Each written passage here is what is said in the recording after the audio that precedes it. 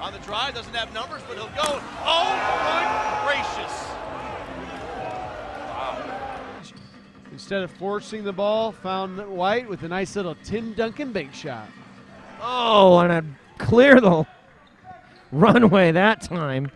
This Bighorns playing five out. Boy, that's a great lead bounce pass by Tyndale to Hunter. We've had five lead changes. The game's been tied twice and a one point difference.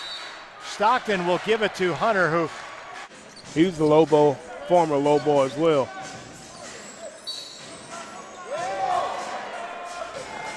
alongside AC Green here courtside at El Segundo as the D League is heating up here on a Saturday night right out of the break. The big man for the Bighorns, Vincent Hunter. His presence known not only on the rim but here on the scoreboard as well. Missed by Stockton offensive board and rattling the rim, holding up a, a little bit as well as Hunter. Trailer Hearns, he'll fire a three. Missed.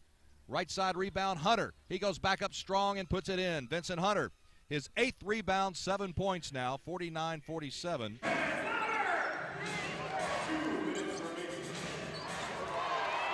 Hunter will block it and run it down, a la Bill Russell. One and losing it was Thomas. And Reno within 11 drive through and taking it away in midair there was Hunter versus Thomas.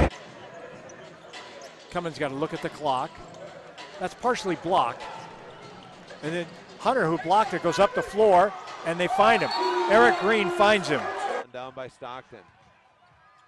Underneath for Hunter, and he'll just hammer one home. Little windmill action there.